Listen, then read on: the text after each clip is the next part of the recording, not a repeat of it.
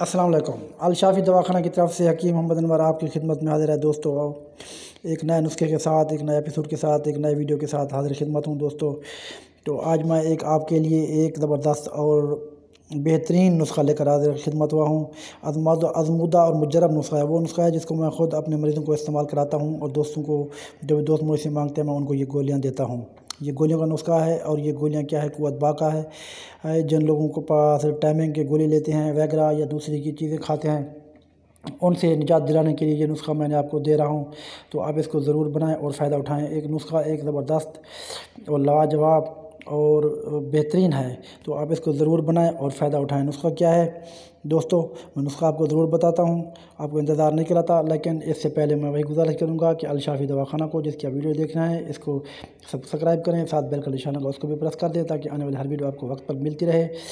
تو لیجیے دوستو، نسخہ سن لیں۔ نسخہ کیا ہے کہ آپ نے لینا ہے کہ ایک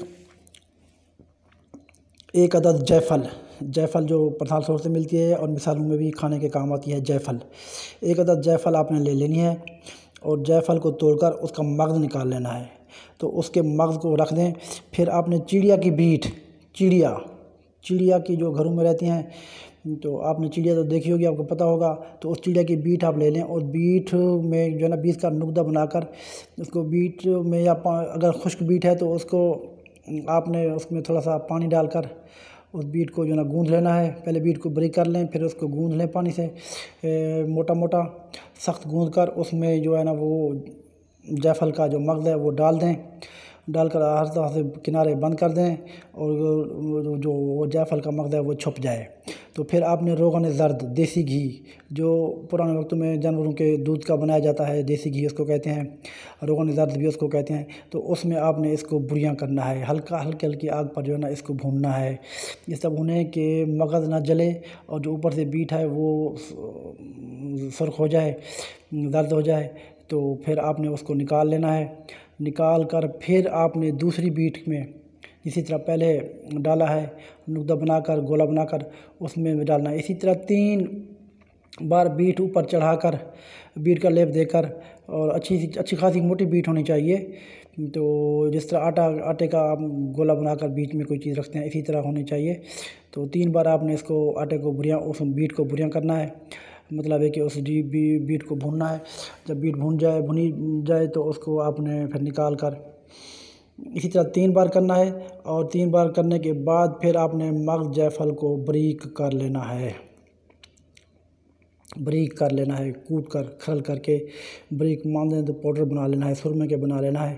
تو پھر آپ نے کیا کرنا ہے؟ اس میں پوست خشخاش پوست خشخاش بھی پنسار سٹور سے مل جاتی ہے۔ پوست خشخاش پوست خشخاش سے جو ہے نا وہ پوست خشخاش کو لے لیں، اس کو پانی ڈال دیں۔ تو ایک دن پڑا رہے، پھر اس پانی کے ساتھ یہ مغز جیفل کو گوندھ کر چنے کے برابر گولیاں بنا لیں۔ تو ایک گولی آپ کھائیں گے تو آپ کو پتہ چلے گا کہ ہم نے کیا کھایا۔ ہے ویگرا کا باپ ہے یہ ویگرا سے کوئی گنا زیادہ طاقت دے گا آپ کو اور ٹائمنگ بھی زبردست دے گا۔ لیکن ایک گزارش ہے کہ اس کو متواتر استعمال نہیں کرنا۔ کبھی کبھار ہفتے میں، دو ہفتے میں ایک ایک بار آپ اس کو استعمال کر سکتے ہیں۔ اگر روزانہ اس کو استعمال کریں گے تو آپ پھر کمزور ہو جائیں گے۔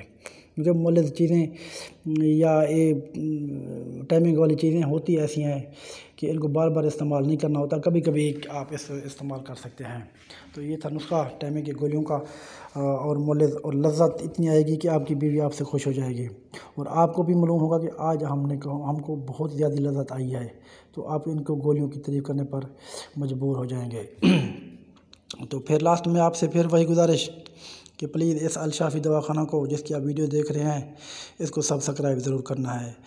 سبسکرائب کریں گے تو ساتھ بیل کا نشان آ جائے گا، اس کو بھی پریس کر دینا ہے تاکہ آنے والی ہر ویڈیو آپ کو وقت پر ملتی رہے اور آپ فائدہ اٹھاتے رہیں اور میں اسے بتاتا رہوں اور آپ فائدہ اٹھاتے رہیں۔ اور اس ویڈیو کو لائک اور شیئر بھی ضرور کریں تاکہ دوسرے لوگ فائدہ اٹھا سکیں۔ اپنا